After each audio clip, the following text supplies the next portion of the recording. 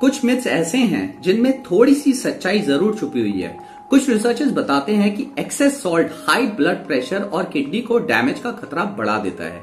लेकिन समझने वाली बात यह है कि नमक में एक असेंशियल मिनरल होता है जिसे सोडियम कहा जाता है। ये शरीर के लिए बहुत ही ज़रूरी है। प्रॉब्लम तब आती है जब हमारी डाइट में सोडियम हाई होता है और पोटेशियम की मात्रा बहुत कम होती है। समस्या तब उत्पन्न होती है जब हम अधिक मात्रा में प्रोसेस्ड और सॉल्टी फूड्स कंज्यूम करते हैं, जैसे कि chips Kurkure nacho sauce packet soup इत्यादि। सच्चाई ये है कि सॉल्ट रिडक्शन उनके लिए इम्पोर्टेंट होता है, जिनको हाइपरटेंशन की प्रॉब्लम है। लेकिन ड्रास्टिकली अपना सॉल्ट इंटेक डिक्रीज करने से कोई स्पेसिफिक बेनिफिट नहीं है। ज़्यादातर लोग नॉर्मल फूड्स खाने से बेनिफिट करेंगे, ना कि सॉल्ट को माइक्रो मैनेज करने से। अगर आप कुछ करना ही चाहते हैं तो पोटेशियम रिच फूड्स को इंक्रीज करें।